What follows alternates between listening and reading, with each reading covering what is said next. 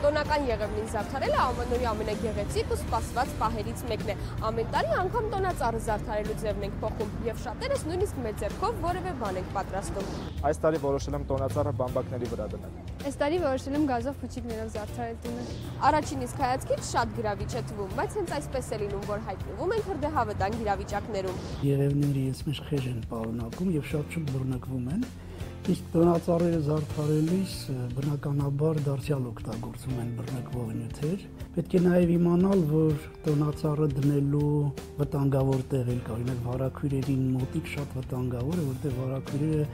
շատ դյուրին ձևով են բռնկվում ու շատ արագ է տեղի ունենում նրանց այրումը, որից կարող է մեծ հրդեհ առաջանալ։ Իսկ հրդեհի պատճառ կարող են դառնալ մարդկանց կողմից չգիտակցված կամ անփույթ վերաբերմունք։ Ես որոշել եմ փոքրիկ տնակներ սարքել ու մեջնել մոմեր դնել ու վառել դրանք։ Բայց ինքը շատ վտանգավոր է, որտեղ մոմի այրումից կարող են դարձյալ առաջանալ շատ լուրջ հրդեհներ։ Դու շատ դեպքում նաև տնակի վերևի մասում են այդպես բամբակ դնում իբր ջուն է նստած եւ այլն, որը դառնում է հրդեհի պատճառ։ Ես որոշել եմ տոնածառի լույսերը միջև հունվարի կեսերը չանջատեմ,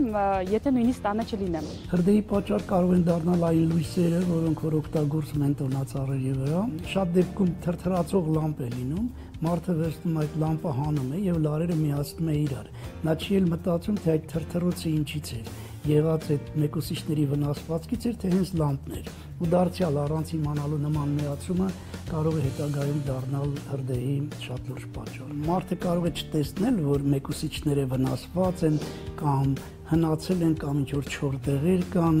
դրա վրայով անց են կացնում պլպլացող զարդեր, որոնք որ իրենց մեջ ալյումին են պարունակում եւ նրանք հաղորդիչներ են, փաստորեն թե նրանք ընկնեն բաց տեղերի վրա, անպայման կայծեր կառաջացնեն կտան կարճ միացումներ Դեռ փոքր ժամանակվանից անհամբեր սպասում է երբ է որևէ տոնակատարություն լինելու, որ բենգելյան կրակներով հրավառություն կազմակերպենք, բայց պարզվում է, որ դա խիստ վտանգավոր է եւ չի կարելի այս թրջող կայծերը թափահարել այն դեպքում, եթե այդտեղ կան բռնկուն իրեր։ Կրակները շատ դեպքում ծնողները տալիս են երեխաներին, վառում են եւ երեխաները սկսում են շարժել, բոցերը թրջում են այս կողմ այն կողմ ուրախանում են բայց դրանցից կարող է լուրջ հրդեհ բռնկվել։ Ասեմ, որ շատ այդպիսի դեպքեր են տեղի ունեցել։ Դրանցից մեկը Հոլանդիայում 2001 թվականին, որը կոչվում է դժոխ դրախտ ռեստորանը։ Ամանորյա տոնակատարության ժամանակ բենգելյան կրակներից բռնկվեց առաստաղից կախված զարդերը եւ ընդամենը 3 րոպեում այդ մասում ջերմաշճանը հասավ 400 աշճանի 14 մարդ զոհվեց Պալեստային դռները փակ էին եւ մարդիկ չկարողացան էվակուացվել այնպես որ